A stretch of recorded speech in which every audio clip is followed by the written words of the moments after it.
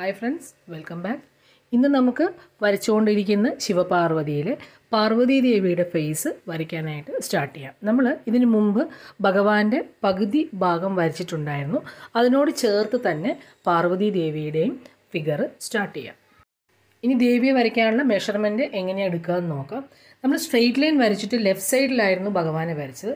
Right സൈഡിലേക്ക് നമുക്ക് ദേവിയെ വരയ്ക്കാം. അതിനായിട്ട് നിങ്ങൾ സെൻട്രൽ ലൈനിന്റെ അവിടെ നിന്ന് റൈറ്റിലേക്ക് സിക്സ് സെന്റിമീറ്റർ മാർക്ക് ചെയ്യണം. അത് കൂടാതെ ഏറ്റവും ടോപ്പിൽ നിന്ന് മഷിപ്പൂവിന്റെ അവിടെ നിന്ന് താഴത്തേക്ക് ട്വന്റി സെന്റിമീറ്റർ മാർക്ക് ചെയ്യുക. അപ്പം ഞാൻ മാർക്ക് ചെയ്യുന്ന പോലെ ട്വന്റി സെന്റിമീറ്റർ മാർക്ക് ചെയ്യുക. സെൻട്രൽ ലൈനിൽ നിന്ന് റൈറ്റിലേക്ക് സിക്സ് സെന്റിമീറ്റർ അത് രണ്ടും കൂടി ചേരുന്ന ആ ഭാഗത്തൊരു ഡോട്ട് ഇടുക. ആ ഡോട്ടിന്റെ അവിടെ നിന്ന് താഴത്തേക്ക് സിക്സ് സെന്റിമീറ്റർ വൺ താലമായിട്ട് കൺസിഡർ ചെയ്ത് ഫേസ് വരച്ച് ബാക്കി എല്ലാം നിങ്ങൾ കംപ്ലീറ്റ് ആക്കണം. നിങ്ങൾക്കറിയാം എങ്ങനെയാണ് മൂക്ക് ചുണ്ട് കണ്ണ് എല്ലാം വരയ്ക്കുന്നത്. അത് ആ ഷേപ്പിനനുസരിച്ച് നിങ്ങൾ വരയ്ക്കുക. ഞാനിവിടെ എന്റെ ക്യാൻവാസിൽ പാർവതി ദേവിയുടെ ഫേസ് ഫുള്ള് കംപ്ലീറ്റ് ആക്കിയിട്ടുണ്ട്. ഓരോ തവണയും കണ്ണും മൂക്കും ചുണ്ടും എല്ലാം കാണിക്കണ്ട എന്ന് വിചാരിച്ചിട്ടാണോ കാണിക്കാത്ത നിങ്ങൾ ബോഡി മെഷർമെന്റ് നല്ലതുപോലെ പഠിച്ചിട്ട് ഫേസ് വരയ്ക്കുക.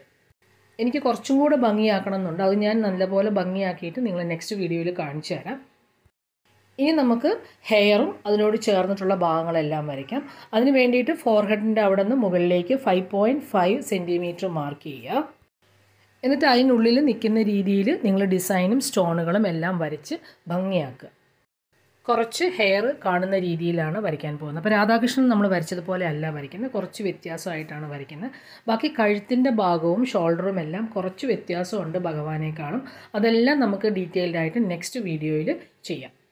കഴിഞ്ഞ തവണ ഞാൻ നിങ്ങളോട് പറഞ്ഞിരുന്നു പുഷ്പകുണ്ഡലം വരച്ച് പ്രാക്ടീസ് ചെയ്യാനായിട്ട്. ചെവിയിൽ കർണാഭരണമായിട്ട് ഞാൻ പുഷ്പകുണ്ഡലമാണ് വരച്ചിരിക്കുന്നത്. അപ്പോൾ അതും നിങ്ങൾ വരയ്ക്കുക. ബാക്കി നിങ്ങൾ പെട്ടെന്ന് ഒന്ന് എങ്ങനെയാണ് ഞാൻ ഹെയറിന്റെ ഭാഗം വരയ്ക്കുന്നതെന്ന് നോക്കുക. എന്നിട്ട് ഞാൻ പറഞ്ഞല്ലോ നിങ്ങൾ പഠിച്ച നിങ്ങൾക്ക് ഇഷ്ടപ്പെട്ട ഡിസൈൻ മ്യൂറലിന്റേതായ രീതിയിൽ നിങ്ങളൊന്ന് വരച്ച് റെഡിയാക്കുക. ഞാനിപ്പോൾ ഭഗവാന്റെ കാതിൽ നാഗകുണ്ടലം വരച്ചിട്ടില്ല. അപ്പോൾ നിങ്ങളത് നാഗകുണ്ടലം വരച്ച് ചേർക്കുക. അതുകൂടാതെ ഞാൻ പറഞ്ഞില്ല പുഷ്പകുണ്ടലം ദേവിക്കും വരയ്ക്കുക. ഇത് രണ്ടും വരച്ച് കംപ്ലീറ്റ് ആക്കണം. അപ്പോൾ നെക്സ്റ്റ് വീഡിയോയിൽ ഞാൻ എന്റെ പിക്ചറിൽ കംപ്ലീറ്റ് ആക്കിയിട്ടുള്ളത് കാണിച്ചു തരാം. ചെവിയുടെ മുകളിലായിട്ട് ചെറിയൊരു രണ്ട് റൗണ്ട് വരയ്ക്കുക. കർണപുഷ്പം വരയ്ക്കാനായിട്ടാണ്. അതുകൂടാതെ ഫോറനോട് ചേർന്നിട്ടുള്ള ഡിസൈൻ ഞാൻ കൊടുക്കുന്നത് സിമ്പിളായിട്ടുള്ള മണിമാലയാണ്. നിങ്ങൾ ഞാൻ പറഞ്ഞല്ലോ ഏത് ഡിസൈൻ വേണമെങ്കിലും കൊടുക്കാം ദളങ്ങളോ അങ്ങനെ എന്ത് ഡിസൈൻ നിങ്ങൾക്ക് ഇഷ്ടപ്പെട്ടത് കൊടുക്കാം. പക്ഷേ അത് മ്യൂറലിന്റെ ആ ഡിസൈനിന് ആയിട്ട് ഏകദേശം ഒരു സാമ്യം വേണം.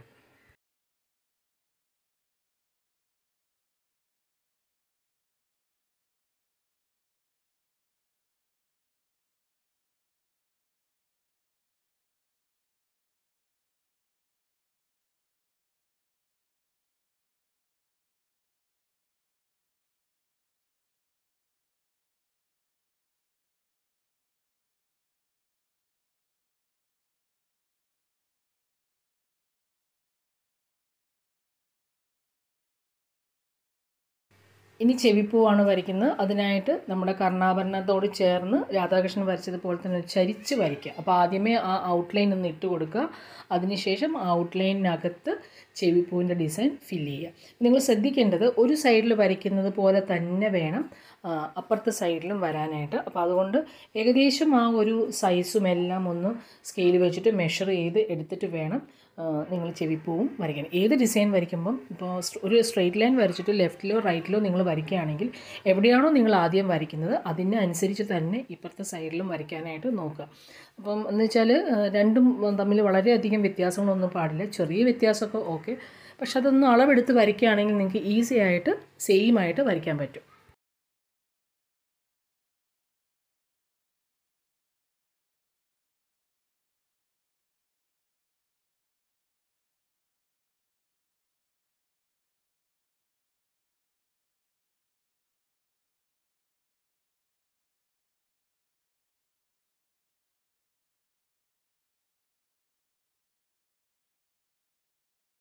ഞാൻ സെന്ററിൽ വരച്ച ഡിസൈൻ കുറച്ച് ലെങ്ത്ത് കൂട്ടിയിട്ടുണ്ട് കേട്ടോ. ഇനി രണ്ട് സൈഡിലും ഹെയറിന്റെ പോർഷനാണ് വരയ്ക്കാൻ പോകുന്നത്. കേശാലങ്കാരം ഞാനിപ്പോൾ വരയ്ക്കുന്നത് പോലെ വരയ്ക്കുക. രാധാകൃഷ്ണൻ നമ്മൾ ഒരു സൈഡിൽ തന്നെയായിരുന്നു വരച്ചത് അല്ലേ? ഇത് നമ്മൾ രണ്ട് സൈഡിലേക്കും ഹെയർ കാണുന്ന രീതിയിലാണ് വരയ്ക്കുന്നത്. നമ്മളൊരു നാ ഷേപ്പിൽ തന്നെ ആ ഡിസൈനിന്റെ മുകളിൽ വരയ്ക്കുക.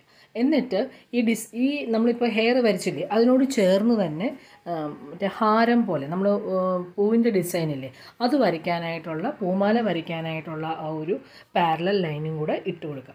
അത് നമ്മൾ പിന്നീട് നമുക്ക് വരയ്ക്കാം. ഇപ്പം നിങ്ങൾ ആ ഔട്ട്ലൈൻ മാത്രം ഇപ്പം ഞാൻ വരയ്ക്കുന്നത് പോലെ ഔട്ട്ലൈൻ മാത്രം വരച്ച് ഇട്ടാൽ മതി.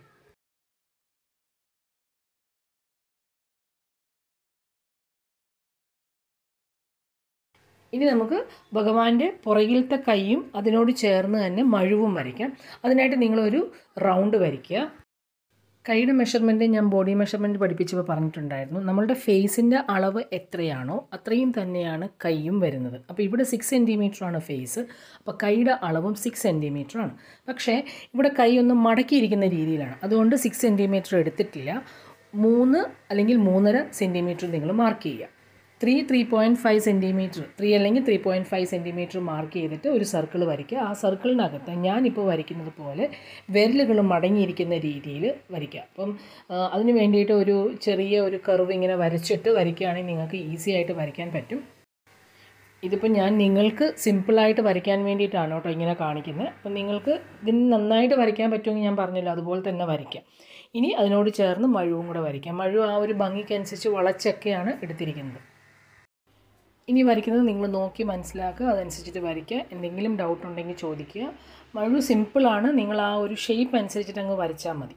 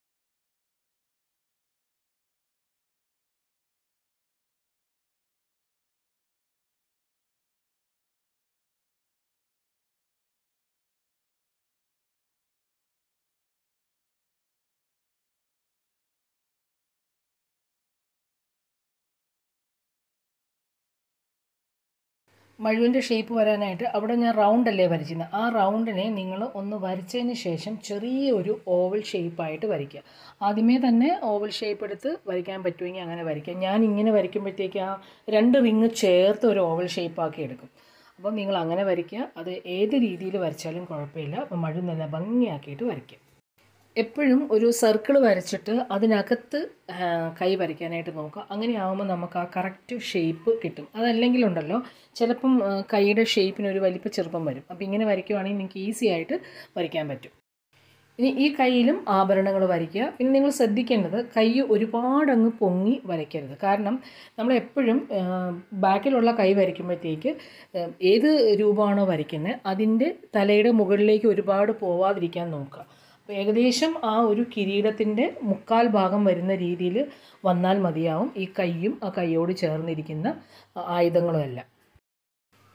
അപ്പോൾ അങ്ങനെ ഇന്നത്തെ ക്ലാസ് കഴിഞ്ഞിട്ടുണ്ട്. അപ്പോൾ ഈ ക്ലാസ്സിൽ നമ്മൾ പഠിച്ചത് പാർവതി ദേവിയുടെ ഫേസ് കർണാഭരണം ചെവിപ്പൂവ് പിന്നെ ഹെയറിന്റെ ഭാഗം ഹെയറിനോട് ചേർന്നിട്ടുള്ള ഡിസൈന് പിന്നെ ഭഗവാന്റെ കയ്യ് മഴു ഇത്രയും നമ്മൾ വരച്ചിട്ടുണ്ട്. അപ്പോൾ ഇത്രയും നിങ്ങൾ നല്ല ഭംഗിയാക്കിയിട്ട് വരയ്ക്കുക.